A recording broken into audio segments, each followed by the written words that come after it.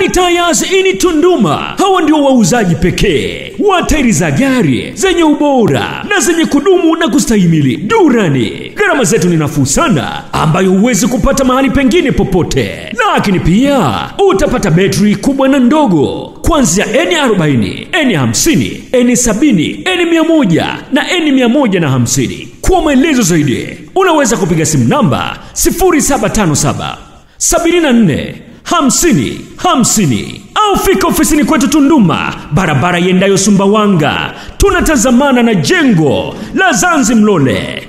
Karibu Durani Tires ili Tunduma, kwa ubora wa kuaminika.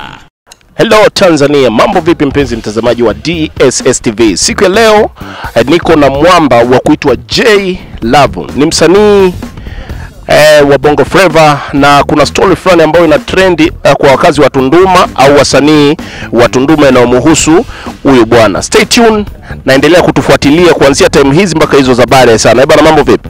fresh Watazamaji wetu wanataka kujua unaitwa nani? ya naitwa Jilavu. mm. Ndio, ni msanii ambaye niko hapa Tunduma, nafanya kazi ya mziki, nawapenda pia watazamaji. Okay, kuna story fulani ambayo ina trendi kuhusu wewe kwa sababu uh, asilimia kubwa ya wasanii wengi uh, wanazungumza kuwa kuna kitu fulani ambacho kilishawahi kukutokea uh, kuhusiana na mpenzi wako ambaye ulishawahi kudeti naye na ukampatia mimba, alafu bahati mbaya ikaonekana kuwa uh, mimba imerudi kwako. Unalizungumziaje hili swala?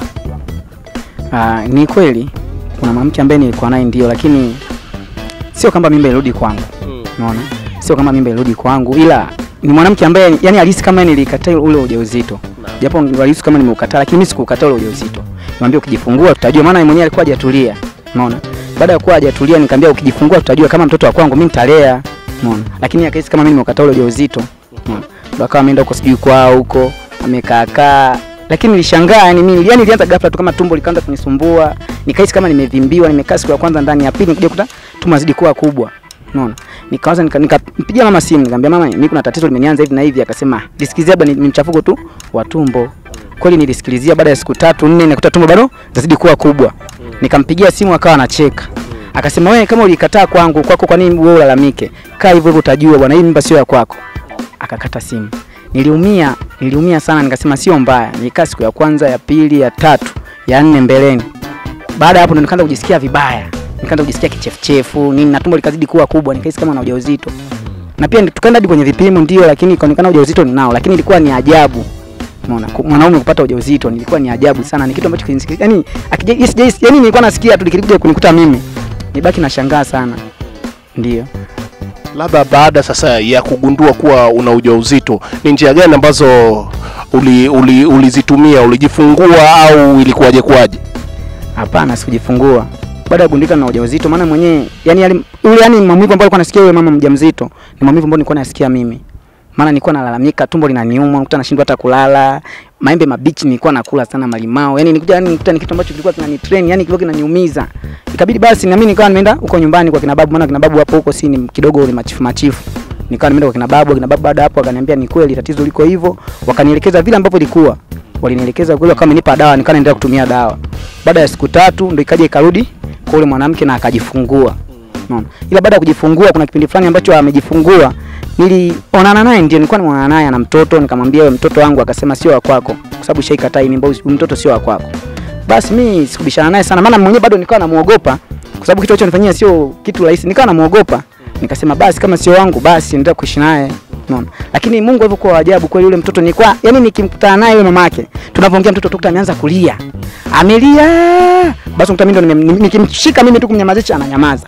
Lakini kuna siku nyingine mpaka nikuta mpaka tutapigane siku moja nitatupigane nikisema mtoto hapo katikati kwa, kwa nani alikuwa anauza chips hapa gorofani hapa tutatu pigane siku moja hapo nikamwambia wewe huyu mtoto wa kwangu alikataa alikataa lakini mtoto alipoanza kulia nilipombeba mimi akanyamaza watu walishangaa nikamwambia mtoto wa kwangu tulibishana nikamwambia basi kwa kuwa utaki basi kaa naye basi nikawa nimesafiri nikawa nimeitwa na mama nyumbani nikaenda nimekaa kule nikapigiwa simu kwamba amefariki mtoto. Na mimi mama aliniambia usiende kwa sababu sio wa kwako usiende. Nilikaa kweli siku ya kwanza ya pili ya tatu nikaona hapana ngoja niende. Nikaja nikafika kweli nikaambiwa kaburi ile pale kule wazazi wake wakaongea wakaongea wakaongea lakini mwanamke bado alikuwa na hasira na mimi. Mimi nikamwambia hata kama una- unakuwa na hasira bado utanikosea maana hicho unifanyia ndo kama hicho. Mimi sikumkataa. Umeona, sikulikataa nikwambia jifungue tuone. Kama ni wa kwangu mimi nitalea. Umeona, basi mikasa ikaanzia hapo. Basi mimi nilipomlalamikia sana yule binti nikamwambia sasa mimi ngoja niende nyumbani na mimi maana nilikuwa na hasira mtoto amekufa afu yeye bado ananijibu vibaya. Nikamwambia ngoja mimi niende nyumbani na mimi nikakurudishie wewe sasa. Kweli nilipoenda kule babu akasema achana naye. Kweli nilikaa kaa lakini da kuna kitu kingine ambacho kilinikuta. Mm, Hapana we. Ni kitu gani mzee? Kwa sababu inaonekana kuwa e, familia yenu mko vizuri kweli kweli. Mm, Hapana ila sio yani ndio lakini ya kwao imezidi. Maana nilishangaa bora bora hata ile mimba ilikuwa inanitesa ndio, lakini kitu kilichonikuja kunikuta kilikuwa ni kitu ambacho akinitesa lakini kilikuwa kinanishangaza. Mpaka nikani nilichanganyikiwa yani nikaona bora kufa kuliko kuishi. Maana kwa mwanaume, maana siku nilikuwa nimeamka asubuhi, nimeamka asubuhi kwa mwanaume siku zote yani ukuta sehemu ya sehemu ya siri iko juu afu sehemu ya kike iko chini, ni kitu cha kushangaa sana. Nilishangaa yani, nilishangaa, nilishiwa nguvu. Yani, nilishangaa sana, sikuelewa Sasa kipindi hicho jinsia hizo zinabadilishana, zina zina zin- moja inakuwa juu, nyingine inakuwa chini, ndio kipindi ambacho ulikuwa na ujauzito. wakati nimesha yani nimeshatoa ameshajifungua hapo mtoto amekufa. Mm. ila hapo wakati bado tuna ugomvi fulani. Tulikuwa na ugomvi fulani ndo akaniambia "Ah, bado wewe usikie. Alinitisha tishia lakini mimi sikumwogopa kwa sababu ni mwanamke afu mimi mwanaume. Mimi nikamwambia uwezo kanitishia ndo akafanya kitu kama hicho. Lakini nilifika hata kwa viongozi wangu pale Tanzania nikawaelekeza nao waliogopa. Waliogopa sana. Nikamwambia jamani mzee mkanisaidiaje? Yani mwenyewe nilikuwa na yani nilikuwa najiogopa Umeona? Maana hata nikaa na wenzangu hivi naona ah hapana. Yaani nasikia kila mtu anajua lakini bora nikage mbali. Umeona? Basi nilihangaika nacho napo baada ya siku tatu nilipo tena rudi kwa kina babu vile ikapotea. Ndio mpaka leo hajai nikuta vibaya. Kuna kauli umesema kuwa familia yao imezidi, lakini walikupatia mimba ukairudisha, wakakupatia jinsia ukairudisha, alafu unawezaje kusema kuwa familia yao imezidi? Ah, ise yani kwa kumpatia yani kwa jinsi walivyokuwa wamenifanya ni lazima angesema wenyewe imezidi kwa sababu unajua mtu ukimpa yani sehemu yani mwanaume ukimpa na sehemu ya kike yani kusema hapo kweli unakuwa umevuka mipaka.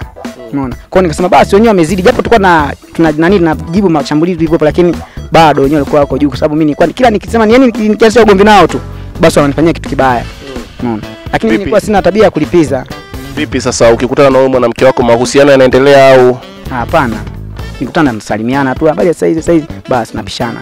vipi? Leo akikwambia kuwa na hamu na wewe hapana siwezi aise. Yaani siwezi. kwa nini hauwezi? Ah, hapana. Kwa sababu mimi na imani mpaka ulimpa mimba ni mtu ambaye tayari ulikuwa umeisha mzoea. Kwa hiyo ukiniambia kuwa hauwezi haraka haraka, nahisi kama kuna namna fulani hivi, kwa sababu wewe ni mchezaji, yeye pia mchezaji. Akikuchezea alafu na wewe unamchezea alafu, mlikuwa unachezeana alafu, kwani unaweza kumuogopa? Mm, Hapana ise kiongozi. Kwa saizi Mm. yani hapana, siwezi. Yani siwezi. Yani hata nikimwona hata ninapoongea naye kwanza mwili unakuwa unasisimka. Yani siwezi kurudiana naye, siwezi kabisa. Yani. Vipi, haujawahi kufanya makosa kimahusiano sasa hivi, labda ku, ku, ku, ku, kudeti na wanawake halafu mwisho wa siku ukawazingua kumwambia kuwa labda tusubiri mahusiano yetu yaende mbele kidogo ndo tuthibitishe kuwa tunapendana, au ujauzito kuwa hapa kipindi cha katikati? Mm, dini ya ise saizi niko mbali na wanawake, nawaogopa. Yani nawaogopa mpaka saizi mimi, yani nawaogopa wanawake, niko nao mbali sana. Kutoka kipindi chote hicho ambacho mkasa umekukuta mpaka leo hujawahi kudeti na mwanamke yoyote? Yani sina mwanamke na sihitaji niwe naye, maana bado naogopa. Bado akili hajakaa sawa. Basi nashukuru. Ikiwa bado tunaendelea na eh, kufuatilia stori hii ya bwana Jailavo, e, pia tuko na kiongozi wa kundi la Tanza ambalo Jailavo amesema kuwa baadhi ya viongozi aliwasimulia tukio hilo. Mambo vipi? Safi vipi? Safi kabisa. Watazamaji wetu wanataka kujua unaitwa nani? Kwa majina naitwa Elias Nelson na natokea katika kundi la Tanza. Wewe ni nani katika kundi la Tanza? Mimi ni mtunza hazina. Naam. Uh, tumepata stori kutoka kwa Jailavo ambayo inahusiana na mambo fulani, sijui ni sehemu ya kishirikina au ni mambo ya kawaida tu ambao walikuwa wanachezeana yeye na mpenzi wake, kuwa alipata ujauzito, mwisho wa siku akawekewa jinsia mbili. Wewe uli, uli, uli, uli, uli unalizungumziaje hilo swala kwanza? Kwanza kabisa, unajua ni, ni, ni kitu ambacho kilitushangaza sana kama viongozi. Kweli alikuja Jailavu kama viongozi wake, akuja akatueleza kuwa kuna tatizo hili na hili ambalo lilinikuta. Ah, kiukweli tulishangaa sana tukiwa kama viongozi na Ni kitu gani ambacho uliweza kukishuhudia kutoka kwake? Ulishuhudia mimba au ulishuhudia jinsia? nilishuhudia jinsia, kwa sababu nikiwa mimi na mwenyekiti wangu tukakutana naye akatuambia kwamba jamani, mimi mwenzenu nashindwa kujielewa kwa sababu sehemu za siri, yani kuna kitu ambacho kimejitokeza, maanake sehemu za mwanamke zikaenda kwake yeye. Ina maana alikuwa na sehemu mbili sasa, sehemu ya kiume, alafu na sehemu chini yake kulikuwepo na sehemu ya, ya kike. Da, yani baada ya kutazama kile kitendo kwa kweli tulisikitika na tukajua kabisa labda inaweza kawa ni masuala ya kishirikina, vitu kama hivyo. Mlipata nafasi ya, ku, ya, ku, ya kumkagua kisawasawa na kuona kuwa na jinsia mbili? Da, kwa kweli tu- tu- tulichungulia, hatukuweza kuchungulia sana kwa kina, kwa sababu tulikuwa tunaogopa pia, unaona, kwa sababu ni kitu ambacho kilikuwa ni kitu cha ajabu kwa mtu mwanaume anakuwa na sehemu ya, ya, ya, ya, ya siri, maanake sehemu za siri zinabadilika kuwa ya kike. Kwa kweli kilitushangaza sana, na ndio maana tulichungulia, lakini hatukuweza kuomba labda tuangalie sana kwa, kwa kina sana, lakini huo ndio ukweli. Kwa hiyo jinsia mliziona kabisa mbili, jinsia ya kike na ya kiume. tuliziona ndio, tukiwa mimi na mwenyekiti wangu. Sawa, nashukuru. Asante. Mpenzi mtazamaji wa TSS TV, huu ndio mkasa ambao e, umemkuta bwana J Love na tumeweza kuzungumza na J Love mwenyewe, pia tumezungumza na e, mtunza hazina wa kundi lake ambalo amesema kuwa ni watu ambao alizungumza nao watu wa karibu yake, na ametuthibitishia kuwa ndivyo ilivyokuwa. Endelea kuwa nasi, endelea kusubscribe YouTube channel yetu, lakini kutufuatilia katika mitandao mingine ya kijamii Facebook DSS TV Tanzania, Instagram DSS TV Tanzania, eh, YouTube pia DSS TV Tanzania. Lowphone Plus Barber Shop Classic ni saluni kubwa ya kisasa yenye wataalamu waliobobea kukupamba, kukufanya upendeze, utoke na utofauti wenye mvuto zaidi. Utapata huduma ya hair cutting, wevu, super braki, facial, massage, scrub, maski, pedicure na manicure. Lakini pia tunapamba maharusi kwa gharama nafuu sana.